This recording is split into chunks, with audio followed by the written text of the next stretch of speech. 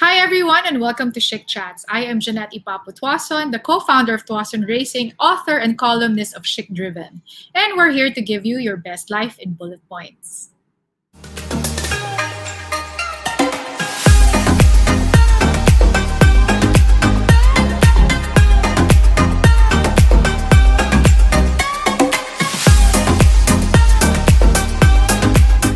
This year, my main goal is to focus on my health. I have had endometriosis twice and battling it for the third time. I have immunity issues. And of course, I'm getting old and the pandemic didn't help, right? So today we're not going to take it sitting down. So I want to share with you my journey on how I'm going to get better or I'm going to be healthy. So today, what I did is I invited some passionate individuals who made wellness their business. Let's talk to a wellness coach, a mother of three. Ladies and gentlemen, let's welcome Mia Season. Hi, Mia. Hi, Jeanette. Nice to see you again. Hi. Uh, for those who don't know, Mia and I are batchmates in Miriam. We're not going to tell you what year. yeah, but okay lang. At, at, least we don't look it. Ah, nagyabang. Anyway, Mia. So, tell me something about you. How did you end up in wellness? Um, so I started juicing. I have Juice Hut, which I joined in one of your chic driven events in Glorieta, if you remember. Yes. I had a booth there. Yes. So uh-huh. yeah. Um, that was 2012 when I gave birth to my daughter. So I was making juices for myself, um, not actually to be thinner, not to lose weight, mm-hmm. but to produce more breast milk. So mm-hmm. um, I asked friends for advice, and all they said was to eat healthier. So I got so how do you eat healthier? The easy way, the easiest way is to drink your juices, diba? To drink your green juices. So yeah. that's where that's my first ano, parang um, project, para my first venture into wellness. But as I was um, talking to clients, parang I felt like I wasn't authentic kasi parang I was giving them advice, advice dito, advice dito, what to take, what to take. But I wasn't really a certified coach. I didn't really uh, learn it in school. I was a, uh, I graduated as a civil engineer. Ang layo, di ba? so, uh, parang feeling ko, um, I wasn't authentic nga. I was feeling like a fake. So, um, I stopped my business. And then, I entered midlife naman. Parang may midlife crisis, di ba? Before 40. So, um, how I tackled it, I went to triathlon. So, I studied, uh, I, I learned how to swim for the first time. And then yun, join ng races, ganyan. Um, and then tuloy-tuloy na. And then I wanted to learn more, so I enrolled myself at nutrition school. It's an online course. Um, mm-hmm. It's for one year. Uh, it's for it's, it goes for a year. Sakto nga na um, I decided last January 2020 to enroll myself in a course. And then the course started March 16, yung beginning ng lockdown. So, okay. ayun, yun ang ginawa ko. I got busy with that. So now I'm almost um, finished with my course and practicing oh. with some clients. so oh, that's it's a great. course. Yeah. Okay, so you you started with juicing because you wanted to have better you you wanted to be more healthy for your kids, right? Did you translate this being healthy to just you or also your family? In the beginning, it was just me. Kasi it's easier okay. eh. Diba? Na parang okay. uh, I'm eating healthy and then uh, wala nang away. Diba? Kakapagod. Kakapagod mag uh, to convince my husband, to convince my kids to eat healthier. But during the pandemic, since we're all eating the same foods, we're all together 24-7, ayun na, parang I shifted my diet. Dati kasi mas plant-based, but now, I want our food to be the same. Parang, parang you're modeling, you're, um, what they, parang ano tawag? Oh, yeah. Parang, it's easier to teach children, uh, monkey see, monkey do Diba? Yes. Uh, Practice yeah, what you preach. Yeah, that's so, are you guys doing plant-based or it's more of a holistic uh, diet? Holistic. We're trying holistic. Oo. Kasi okay. the kids, but the, I'm proud of my kids kasi now that they're eating talaga vegetables all the time and they're trying na mga mustasa, mga puso ng saging, mm-hmm. We're we're doing um, traditional foods, local foods, and then um, hindi pa naman sila nagsasalad. I don't expect them to eat salads kasi they're just 10, 8, yeah. and uh, 6, diba? So you have to manage your expectations also. Uh, but they're eating more vegetables. now. So, like, so share share with us naman, uh, what were the, ano yung mga big hits mo na vegetable dishes para sa kids? Uh, well, they like gata. But before, parating ginataang kalabasa lang. I stuck with that. Ang kalabasa na may malunggay. Di ba since they were babies? But now we're trying na sigarilyas, uh, puso ng saging, ganon. And yung mga puro, purong mustasa actually, para nagulat ako na they like it. And just keep on experimenting kasi you'll be surprised also. Kasi feeling natin, ayaw nila, ayaw nila, nila tayo. But they like cauliflower fried rice, they like okay. broccoli fried rice. But I mix it with um, ordinary rice. And we've shifted to red rice na rin. Mm. Uh, in the beginning, white and red mix. And then, okay. hanggang, pa-konti-konti, hanggang red rice na lang. Actually, ngayon, red and black na pala kami. Kami, so, what we do, kami, what we do is actually red rice and adlay. Because ah, my kids, so my kids are medyo hyper. So sometimes rice has a big, you know, sugar content. So we decided to just uh, make it half and half because we realize if it's super red rice or just super adlay, they lose weight naman. So it's really a balance. So so from your juicing days and then from from your juicing days and today, now now that you're trying to learn it professionally, what were the myths or what were your key learnings? If you can share with us one or two na, oh my God, nung nalaman ko to, biglang, aha, nag-open yung heavens. Um, sa nutrition school, school kasi, they're very heavy with the concept of bio-individuality. So, okay. one one person's diet doesn't work for another person's diet. Parang ganon. Parang um, mm-hmm. we all have different needs. So, I'm looking at my children na parang, um, yun nga, I can't force them to eat parang all the same foods. Uh, I have okay. to respect their preferences. At the same mm-hmm. time, uh, listening to their uh, needs. For example, my youngest kasi, she has, she's allergic to chicken, to okay. uh, poultry. She's very sensitive to parang commercial poultry. But when I buy free range, ganyan, the good kinds of um, chicken and poultry, okay naman siya. So that's mm-hmm. her parang bio individuality. I have to watch her intake of dairy. I have to watch her intake of chicken. And for my second naman, well, she really likes pork. And I have to respect okay. that. Na parang, yeah. um, that's what that's her choice of protein eh. Um, so, mm-hmm.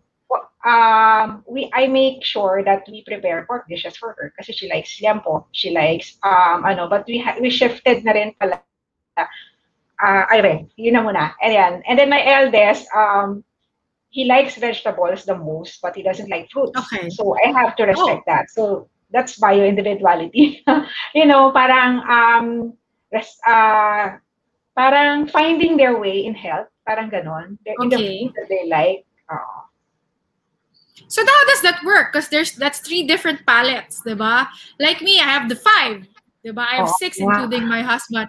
So how do you make that work? Well, they have to adjust. Na parang, um, uh, Alis, my, my, my youngest requested this dish, so you, ha- you have to try it all. But they all get a chance mm-hmm. naman to suggest. Like every Sunday, we take out. And that's the time that we order, I let them order McDo. Pero once a, okay. once a month lang yung McDo. once okay. a month lang yung McDo. so, they choose every Sunday which uh, foods to order. Isa-isa sila. So, it's okay. the youngest turn, the, around and Okay. So, on a regular yeah. meal, So it's in a regular meal. So usually, halimbawa, if it's pork because your second likes pork, will you prepare other dishes that the other the other people can eat in the family? No, it's uh, pork and vegetable. Parating dalawa. Di ba yung Filipino oh. style of cooking, dalawa. So, ano, pork, or vegetable? Mm-hmm. Okay. Pork and, so, and vegetable. Mm-hmm. Okay, but do you still continue to juice for your kids or for your family? Uh, more on smoothies. Smoothies. More on smoothies. And is that a hit for your kids? And what's a what's the hit? Ano yung recipe na super hit sa kids mo? Uh, I wouldn't call it a hit because in the beginning when they were toddlers, they really like it. No, but now it's more uh-huh. requirement. okay. requirement. I always put greens in my smoothies kasi parang ano na yan, raw greens, 'di ba? Parang hindi mo naman yeah. malalasahan. That's automatic nutrition na. And berries, kasi berries are ano eh, the best kinds of fruits, no? Low in sugar, mm-hmm. uh, anti-inflammatory, and then um, protein powder kasi yun yung papasarap eh. eh or okay. or banana. Okay. Is protein powder okay for little ones? What's the age na pwede mag-protein powder? They're not so little actually. They're not toddlers naman ah. Uh, my youngest is six. I think um, for toddler, I'm not really sure ha. I don't wanna, don't quote me. Okay. don't quote me on this. Uh, parang ano, um, it's not, I'm not so sure. But I use plant-based uh, pea protein.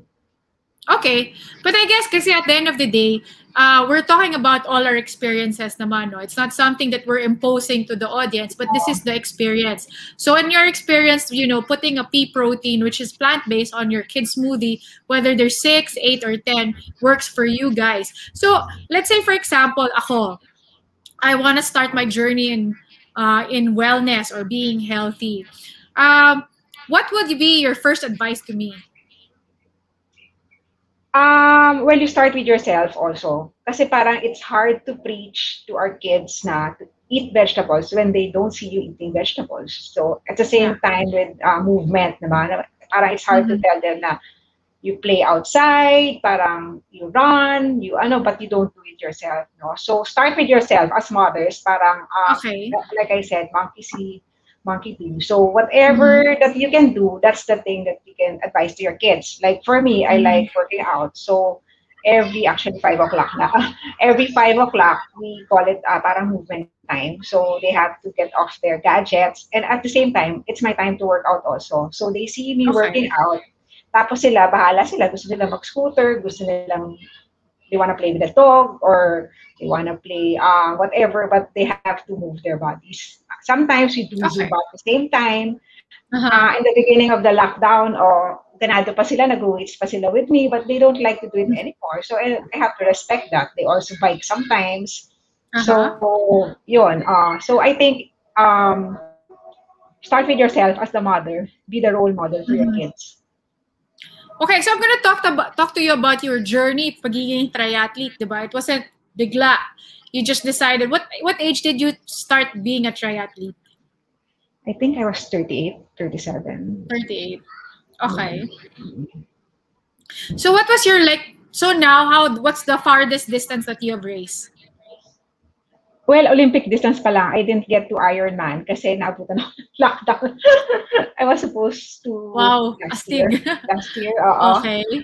Yeah, but uh, before kasi, when we go biking, it's more of training. But now, I'm enjoying destination rides. They call it destination okay. rides. Like, we rode from Evia to Tagaytay. Ganon. Yung mga, oh my God, you're one of those people. Oh my God. yeah, you see you see them on the road, no? yeah. yung ganon. So, uh, I'm trying it out now. Kasi there's no parang pressure naman to bike fast, diba? To bike, uh, to train actually. It's more of okay. enjoying it. And I do it with my husband. That's the thing naman that we do together. Uh, mm-hmm. biking. So double ano na rin, workout and date. So let's say for example, diba, like somebody like me who I used to be a triathlete but now in a zero because of health issues, what will be a good what movement uh, what movement would should we start with? what do you enjoy doing? Parang, do you uh, like working out by yourself? Do you like working out in a group? Gusto mo ba sa loob ng bahay? Gusto mo ba sa labas ng bahay? Ano? I have no idea, man. At this point, wala. Well, ako, ayoko rin ng home workouts actually before, uh, before the lockdown. Parang I always join group classes. I like okay. outdoor sports, ganon. But during the lockdown, we really have to adapt eh. Na parang, okay. especially during ECQ, di ba, na walang-wala. Mm-hmm. Well, it helped that I was a member of, I'm a member of ano eh, um, those communities, mga fit moms. Um, mm-hmm. So I'm members of those groups. So we have this parang Facebook group na may challenge, may mga four-week okay. challenge, six-week challenges, ganon. It's all virtual. Mm-hmm. We don't even work out together. Pero, um, ayun, we post our, ano, our food, okay. we post our, ano, it's accountability in some way. Accountability. So, you, your, your advice is to first look for what we like to do so yeah. that we will enjoy the workout. Maybe find a, a community that will support you, a support group, no? So, what else is what else are you planning for the future in terms of wellness because you said you just finished a, you're about to finish a course and where do you want to take it um i'm still deciding if i want to be a health coach but i'm doing all the requirements it's required for the course okay. yeah so uh, actually i don't know i don't know i'm just um, taking it as it goes. Parang I want to enjoy it. It's not something naman na parang I'm in my 20s na I have to achieve this, this and this. Eh. It's a passion. Yeah. So it's a passion project. So I don't want to force something into it na parang hindi ko feel. Parang at this time of our lives, no, in our 40s, we just want to do the things that we like because our time is limited. Our energy is limited, diba? Yes. So, right. yeah. So that's how I'm approaching this. So right now, I'm enjoying um, the studies. I'm enjoying parang uh, joining parang mga talks like this, mga um, mm-hmm. being member, uh, being active at Mommy Mundo, you know, writing articles for some, yung mga ganon. So, um, creating recipes. So baka you can share with us naman one of your recipes, di ba? That's a big hit that's good for us. It's huh? in my Instagram. I have recipes in my Instagram. Mia, thank you so much for joining us today. Uh, we will be uh, asking Mia to share with us some of her recipes. We will put that on later.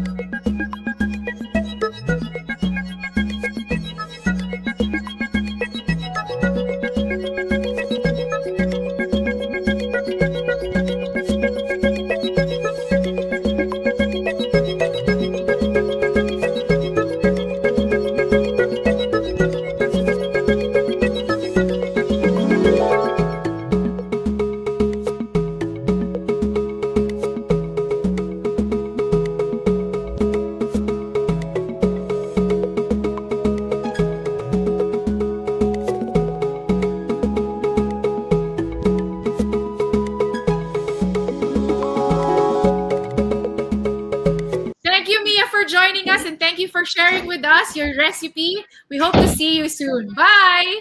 Bye. We have some wellness tips from Mia.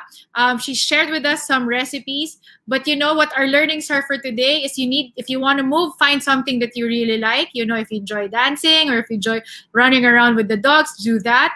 And then if you want to be healthy and you want to share your wellness journey with your family, you start with yourself. So ikaw muna, diba? And then you have to show their kids or your husband, you know, eating this is, has benefits.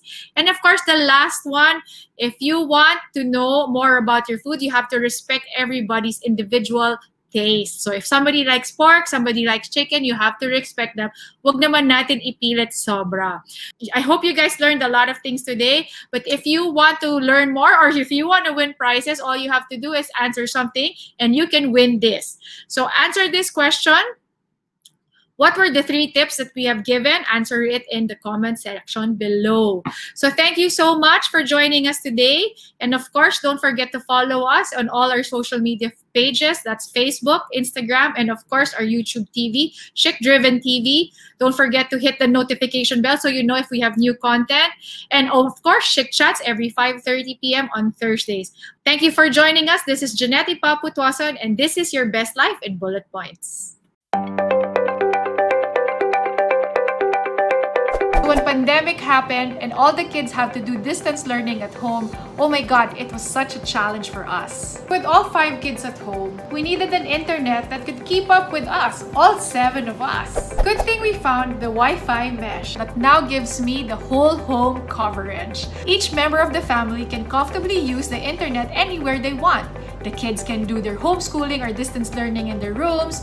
Me and my husband can work separately. He can do his Zoom meetings while I'm recording my podcast without the worry that the internet will get cut. I'm really happy we found a Wi-Fi mesh. Now our whole house has internet. Super glad we have it.